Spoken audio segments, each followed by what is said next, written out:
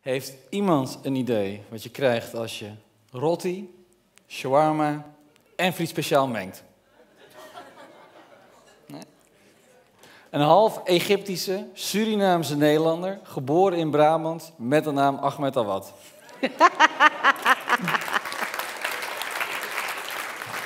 Ja, ik heb het zelf ook niet verzonnen, maar mijn ouders die vonden 37 jaar geleden dit mengelmoesje wel een, uh, ja, wel een goed idee. Het verhaal wat ik jullie vandaag ga vertellen, dat heb ik eigenlijk nog nooit buiten mijn eigen inner circle gedeeld. Want van buitenaf lijkt het net alsof bij mij alles van een leien dakje afgaat. Maar niets is minder waar. Um, als ik terugdenk aan mijn gezin van herkomst, dan zou ik dat nu typeren als kansarm. Arm en weinig kansen dus.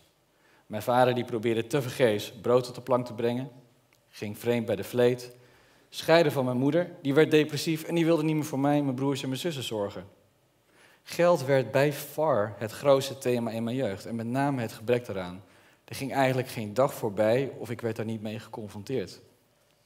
Dus mijn eerste herinneringen eraan die gaan ook terug tot ik een jaar of zes was. En dat ik bij mezelf dacht, ik ga later zoveel geld verdienen dat ik dit nooit en ook nooit meer hoef mee te maken. Dat is natuurlijk totaal ongezond voor een kind van zes. Maar aan de andere kant, ik ben er ook alweer dankbaar voor, omdat het me gemaakt heeft tot wie ik ben vandaag.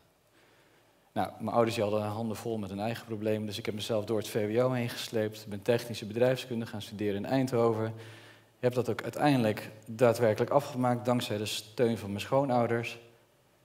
En fast forward 15 jaar later heb ik samen met mijn compagnon Sander Haarman een bedrijf, de Next Ad in Amsterdam, wat voor de mooiste klanten ter wereld, zoals Heineken, Takeaway, TW Steel, Lovis, noem ze allemaal maar op, marketingcampagnes verzorgt met een mediabudget van meer dan 100 miljoen euro per jaar. En dat kun je een beetje vergelijken met wat een vermogensbeheerder voor je doet. Die probeert je vermogen zo goed mogelijk te laten renderen. Nou, dat doen we voor deze klanten ook. Hun marketing en hun mediabudgetten zo goed mogelijk te laten renderen. En dat doen we op to toonaangevende platformen zoals Facebook, Google, Instagram, Messenger, noem ze maar op. Nou, dat doen we natuurlijk niet alleen, maar met een echt, echt fantastisch team van 40 man in Amsterdam. Nou, en dat is natuurlijk niet allemaal over één nacht ijs gegaan, want we hebben echt zo enorm veel problemen gehad. Op een gegeven moment hadden Sander en ik zoiets van, er is echt gewoon totaal niets romantisch aan het ondernemen.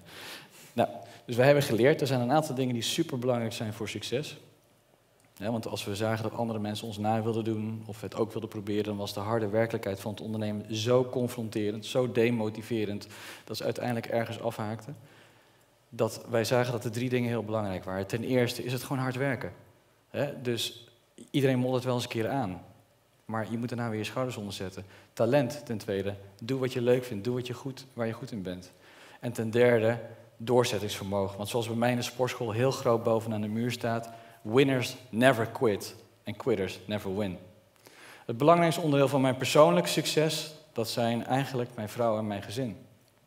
Mijn vrouw mijn soulmate, de moeder van mijn vier kinderen, die heeft mij al deze jaren met beide benen, beide, benen op de grond gehouden. Zonder haar had ik het niet kunnen doen. De reden waarom ik vanavond hier op dit podium sta is eigenlijk heel simpel. Want als ik terugkijk naar vroeger, zie ik zoveel knappe jongens en meisjes. die door alle overweldigende multiculturele complexiteit. ergens de hoop dreigden op te geven. of akkoord gegaan zijn met minder.